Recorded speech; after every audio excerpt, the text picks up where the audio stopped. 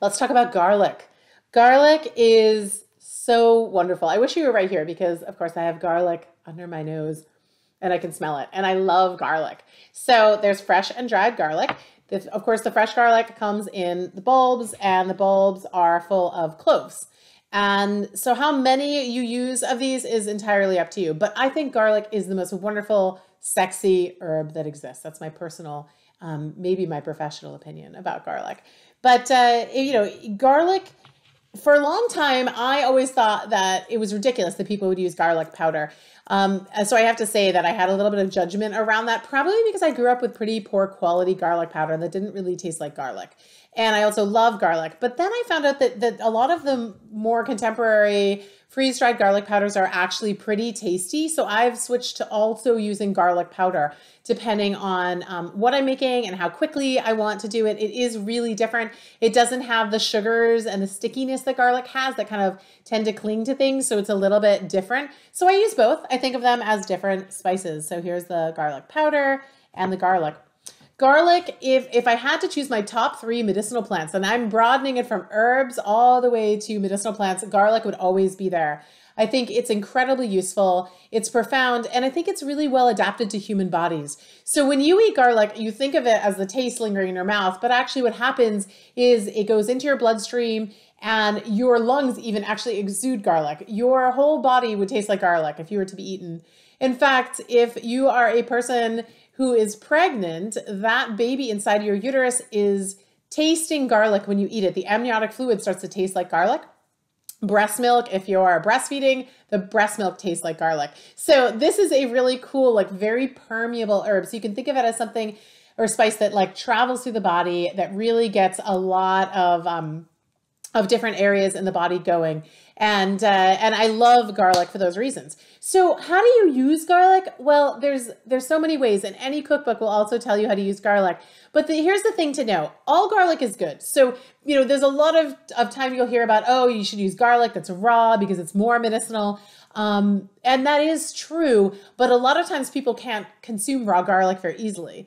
If you want to consume raw garlic, the easiest way to do it is to put it in something that's like fatty or coating, like mix it into avocado, make peanut sauce, you know, guacamole, peanut sauce. These are all tasty things, right? Mix it into a bit of honey, um, mix it with olive oil, and then you can, you know, put it on whatever you want to do. And so raw garlic can be used in those ways, and it's wonderfully strong and medicinal. Um, there's also the idea of using garlic in the dried form and you can even sprinkle that atop of food and so on. But it's fine to cook your garlic. So you can cook your garlic add it to the beginning of your food add a little bit to the end. Um, you know it's delicious and wonderful however you want to use garlic. You don't have to think about you know maximizing the medicinal benefits too much. Um, i would say just use more of it. And you know however whatever way you want to do that so why do I use garlic? I think of garlic as a great protector and an antimicrobial agent in the body. It's really wonderful. And a lot of the, the um, stories around garlic and vampires had to do with, if you think about it, you go to sleep at night, you wake up and you're completely drained and exhausted, like someone sucked the blood out of you. Um, and that's often a viral something that's that's viral. And garlic would protect from that. I mean garlic has a lot of potent antiviral properties. So it's wonderful for respiratory conditions. It's wonderful for deeper immune system challenges. And it's a plant i use both as a cooking herb and very much medicinally. So tons of research around garlic and heart health and um, you know it's one of the most heart protecting herbs there's, as far as hypertension and blood lipid levels, all of that is is there's a lot of research around garlic assisting in those areas. Um, garlic has been shown in all sorts of research to help with metabolic syndrome, um, to be supportive in people that are dealing with long-term immune challenges. Uh, and there's even, you know, th- there's some super cool research around just some very simple things I thought one of my favorite pieces that I'd bring to you today was about uh, people that are taking an anti diabetic agent.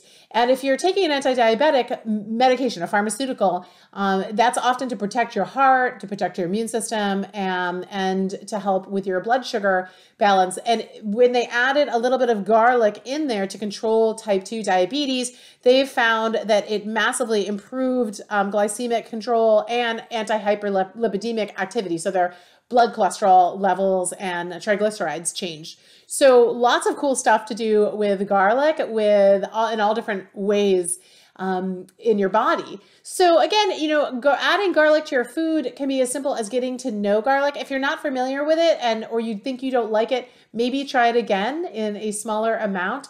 See how much garlic you actually want to use. Find out your favorite ways to use it, whether it's pressed or otherwise. We're going to be making a favorite recipe that I have with garlic a little bit later. Although most recipes I make have garlic in them, so um, this, there there are a lot of favorite recipes. But I'll show you a simple way to increase the garlic quantity in your life that's very easy to diversify and use in all different types of forms. So love me some garlic.